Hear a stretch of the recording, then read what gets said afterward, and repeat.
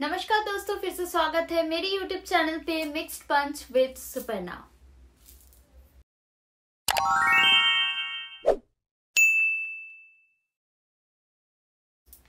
तो गाइज़ जैसे कि आप लोगों को पता है कि नील भट्ट का हो गया है एविक्शन एविक्शन होकर वो घर से बाहर आए, बहुत जगह वो अपना इंटरव्यू दे रहे हैं, जो कि नॉर्मली जो भी एविक्ट होते हैं, वो करते हैं। तो सिद्धार्थ कानन के एक इंटरव्यू पे नील गए। कन्वर्सेशन किसमें हुआ वो अलग बात है। एक्चुअली जो अभिषेक एंड ईशा का रिलेशनशिप है घर के अंदर, उसके बारे में कन्वर्सेशन उठा। वहाँ पर नील ने ऐसा कुछ बात कहा, सुनकर मैं भी शॉक्ड हो गई, क्योंकि मैं बिग बॉस 17 जो देखती हूँ, उसका एक बहुत बड़ा रीजन है अभिषेक एंड ईशा। मैं ईशा को बहुत पसंद करती हूँ, क्योंकि वो 20 इयर्स की लड़की शी इज़ वेरी स्ट्रांग मुझे लगता है वो अच्छा प्ले करती है। कभी कभार गलत जाती है विच इज़ वेरी नॉर्मल क्योंकि सब लोग गुड पेज पे गुड शेप पे हर टाइम नहीं रह सकते। लेकिन ऐसा कुछ बात नील ने बोला, वो सुनकर मैं भी हो गई शॉक्ड मैं सोच में पड़ गई कि really I am supporting a good person और नॉट चलिए, क्या बात है, क्या कहा है नील ने बात करते हैं? उससे पहले अगेन आई एम रिक्वेस्टिंग अगर अभी तक चैनल को सब्सक्राइब नहीं किया है प्लीज़ चैनल को सब्सक्राइब कर दीजिए ताकि कोई भी न्यूज़ है, मैं आप लोगों के साथ शेयर कर सकूँ और पहुँचा सकूँ। सो बेसिकली अभिषेक और ईशा का जो लास्ट वीक का रिलेशनशिप था न्यू ईयर के दिन थोड़ा बेटर बेटर हुआ।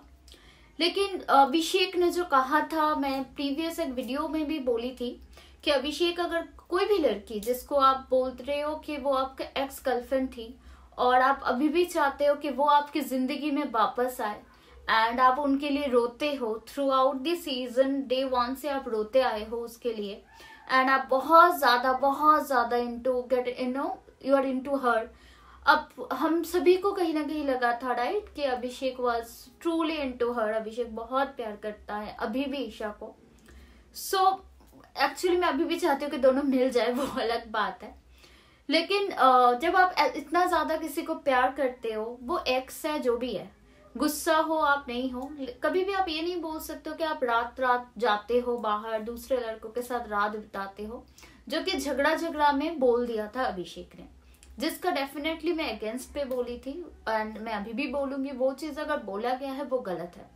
लेकिन इस मुद्दे पर जब नील को पूछा गया, क्योंकि नील लास्ट लास्ट में अभिषेक से थोड़ा क्लोज आ गया था नील और अभिषेक का थोड़ा ठीक हो गया था पैचअप हो गया था because as a person Abhishek definitely not wrong Abhishek अपने मुनावर के साथ जो फ्रेंडशिप जो बॉन्डिंग रखा है, वो बहुत पॉजिटिव है, वो सही है.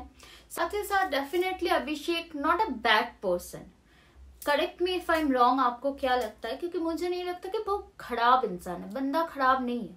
लेकिन उसका सिचुएशन उसका एक टॉक्सिक नेचर है, जिसमें वो गुस्सा हो जाता है एरोगेंट हो जाता है. जिसकी वजह से वैसा रिएक्ट कर देता है। लेकिन I don't think is a bad guy but अभी नील ने जो कहा है ईशा के बारे में वो सुनकर I was really in shock so जैसे उस टाइम पे हुआ था अभिषेक को ईशा और सामर्थ ने पोक किया और ईशा ने वहाँ पर कहा कि तू अपने मम्मी पापा को रुलाता है तो कैसा लड़का है? फिर अभिषेक ने उसका जवाब देते हुए कहा कि मैं तेरे लिए रुलाया था बिकॉज़ uh, मैं इतना ज़्यादा तुझसे कनेक्टेड था। वो लोग बोलते गए कि छोड़ दो इस लड़की से, बाहर आ जाओ, बाहर आ जाओ, बाहर आ जाओ। लेकिन मैं नहीं आ पाया, इसलिए मैं उन लोगों को रुलाता था। बिकॉज़ कोई भी पेरेंट्स अपने बच्चे को ऐसे हाल में नहीं देख सकता, कभी भी नहीं। तो वही चीज़ हुआ अभिषेक के पेरेंट्स के साथ, और जिसकी वजह से अभिषेक ने रोया था।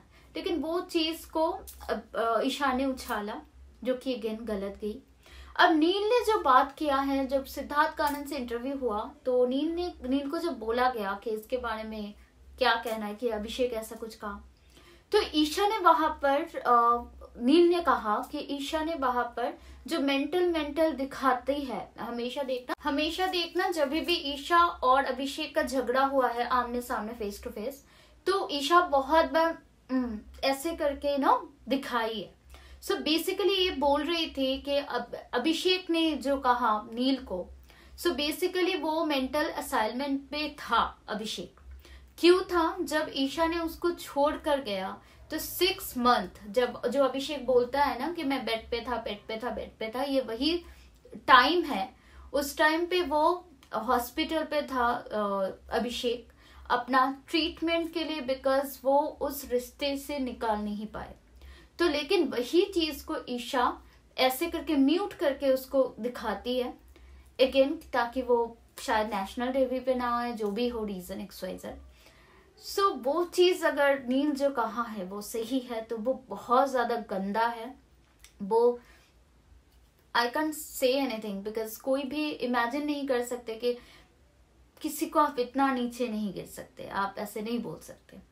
सो so, यस yes, देखते हैं आगे और क्या गलत होता है। तो ये चीज़ नील ने कहा एंड आई थिंक नील कभी झूठ या गलत बात तो नहीं बोलेगा। जितना दिन भी हमने देखा बिग बॉस के घर पे नील का पर्सनैलिटी बहुत ही अलग है तो ऐसा काम नहीं करेगा। आपको क्या कहना है? अगर ईशा ऐसे कहा है तो आप क्या बोलना चाहते हो? ज़रूर कमेंट करके बताएगा और आप किसके सपोर्ट पे हो? ईशा के? ईशा एंड अभिषेक का जो लड़ाई है, उसमें आप किसको सपोर्ट करते हो? या नॉर्मली आप किसके सपोर्ट में हो? ज़रूर कमेंट करके बताएगा और भी कुछ न्यूजेस है जो कि डेफिनेटली आप लोगों के साथ शेयर करूँगी रिगार्डिंग बिग बॉस साथ ही साथ बहुत सारे रिव्यूज़ आप लोगों को किस चीज़ का रिव्यूज़ चाहिए, वो भी आप लोग कमेंट करके मुझे बता सकते हो। मैं कोशिश करूँगी मैं सारे रिव्यूज़ आप लोगों के साथ शेयर कर सकूँ। And requesting you to all please channel को सब्सक्राइब कर दीजिए ताकि हम ऐसे कनेक्ट रह सके एक दूसरे के साथ। And thank you so much for watching my videos and liking my videos and thank you so much for the time bye bye for now मिलते हैं नेक्स्ट वीडियो पे। बाय